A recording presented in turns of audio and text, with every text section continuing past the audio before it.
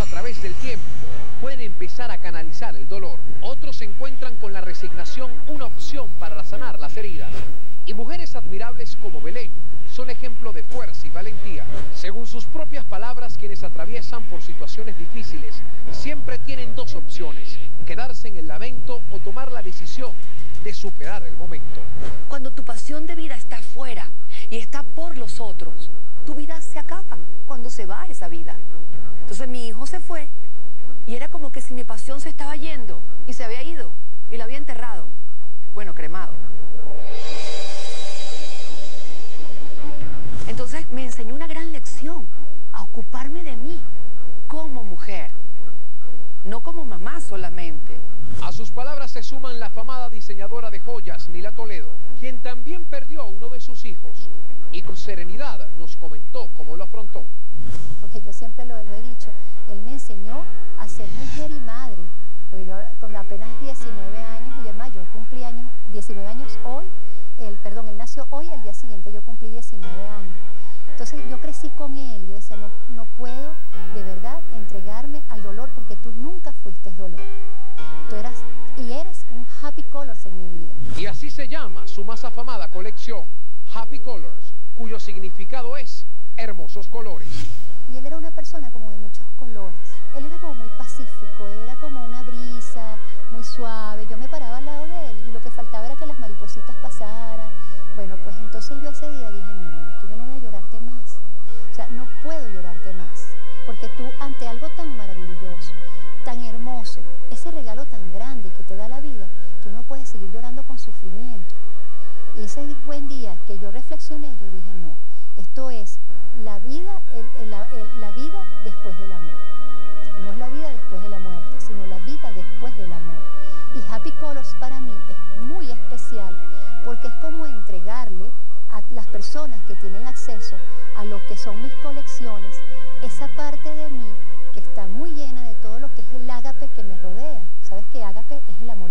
el amor que tenemos por todo, todo lo que es y somos desde que nacemos es un ágape.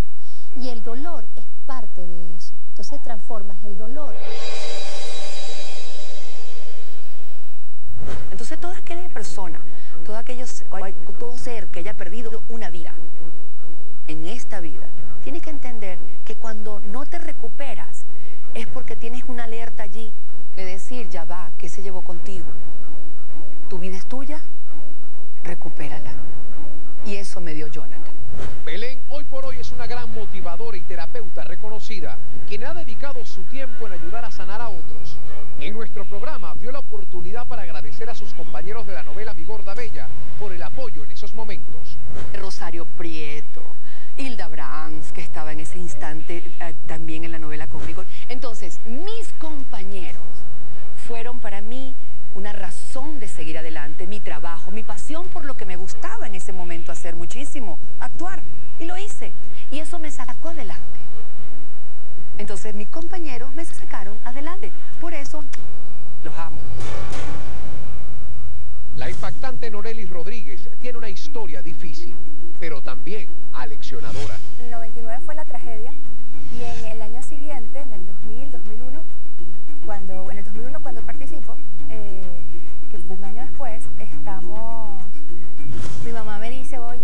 oye, ¿por qué no buscas la manera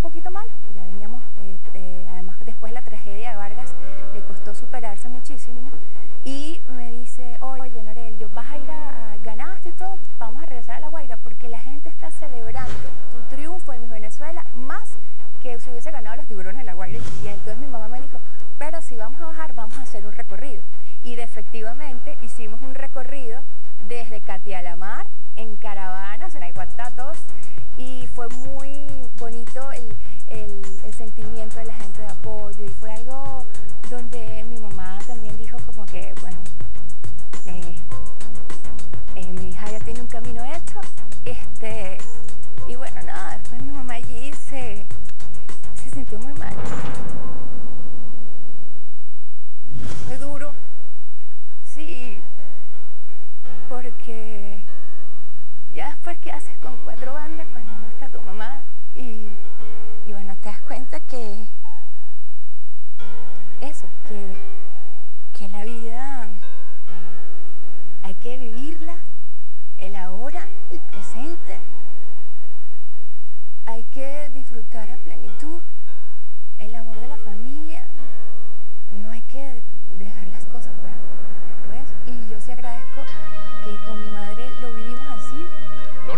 pasaba por una montaña rusa de emociones, de vivir la noche más linda del poliedro, de llevarle alegría al pueblo varguense que tanto lo necesitaba, pasó a despedir a su madre.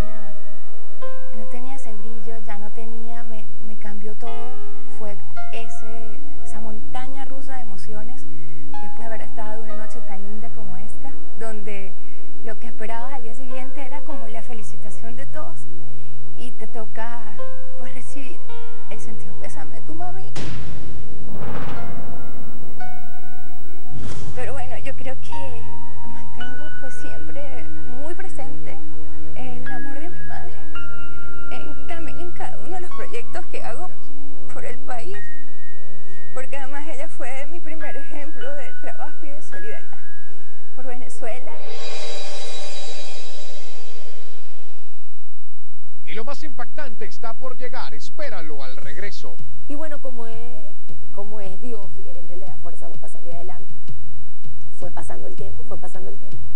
Y bueno, y cada vez fui saliendo más y, y mi trabajo me ayudó muchísimo a salir. Mi mamá tomó una decisión muy difícil en la vida de, de- de- de cualquier persona, de cualquier mujer, de cualquier madre, que fue entregar a su hija mayor a una persona extra